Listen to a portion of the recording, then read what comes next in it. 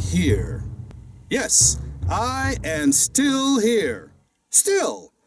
After 300 years of slavery and 100 more of bravery, I am still here. After being bought and sold, sold off and traded, beaten, fought over, passed by and hated, hung with my head looking up to the sky, I, yes, I, am still here. After working till I'm weak, week after week after week for centuries that seemed like eternities, I am still here. After slaving for no pay, little attention, and even less recognition, I am still here. After being ignored to the point of inspiration, I am still here. I'm still alive, still surviving, thriving, and somehow stronger despite the hardest times.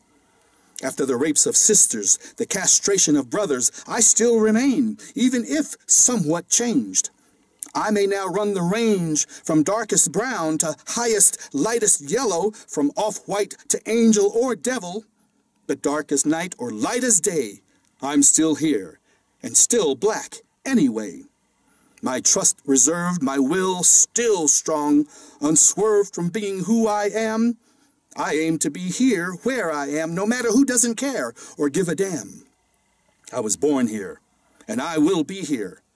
I may not die here, but here is where I will be buried. My mother's here, my father's here, so also are my children.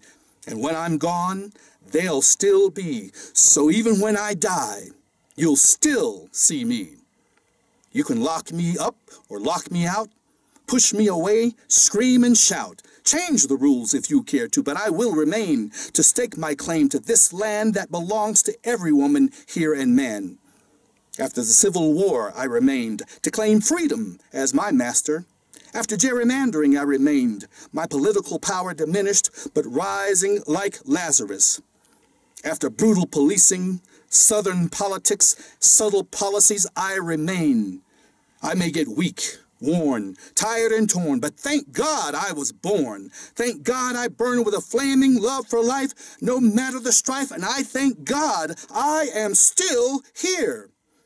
I may be black and blue, black and bruised, black and abused, black and used, but I'm black and believing, black and becoming. I'm proud and beautiful. Ain't I something? Yes, I am.